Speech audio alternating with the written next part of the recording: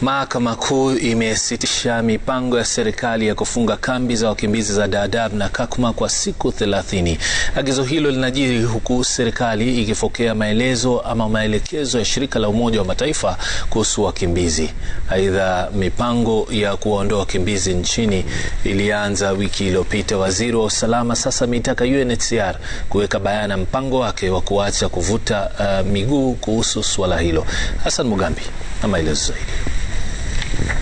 Agizo la mahakama kusitisha kwa muda shughuli za kufungwa kwa kambi za wakimbizi nchini limetolewa baada ya mwananchi kwa jina Peter Solomon Gishira kuwashtaki mwanasheria mkuu, wizara ya usalama na waziri wa usalama Fred Matiang'i kuhusu mpango wa kuwafurusha wakimbizi kutoka kambi za Dadaab na Kakuma humu nchini, mahakama ikisema kuwa suala hilo liwekwe breki kwa siku thelathini. Kesi hiyo imepangwa kusikizwa tarehe kumi na tatu mwezi huu.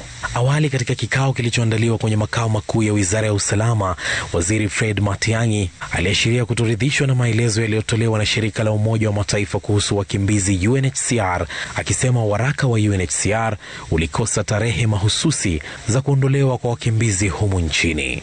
Maelezo haya yanajiri baada ya waziri Matiang'i kutoa makataa ya siku kumi na nne kwa UNHCR kubuni mpango wa kuwaondoa wakimbizi wote nchini, la sivyo kuvunjwa kwa kambi hizo mbili zilizo na wakimbizi takriban laki tano. UNHCR ilikubali kuwaondoa wakimbizi na kuwapeleka katika mataifa ya Ethiopia, Sudan Kusini, Marekani na hata Kanada. Hata hivyo, serikali haikuridhishwa na kukosekana kwa muda maalum wa kufanya hivyo, hilo likiashiria kuwa shirika hilo linataka Kenya kuendelea kuwahifadhi wakimbizi kwa muda usiojulikana. Kenya imetaja tishio la usalama na kuendelezwa kwa biashara za magendo kama sababu kuu za kutaka kufungwa kwa kambi hizo. Matiang'i akisema kuwa idadi kubwa ya mashambulizi yanayoshuhudiwa humu nchini yanatokana na wahalifu waliofichwa katika kambi za wakimbizi.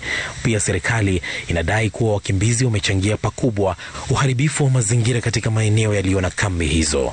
Hassan Mugambi, Citizen Nipashe.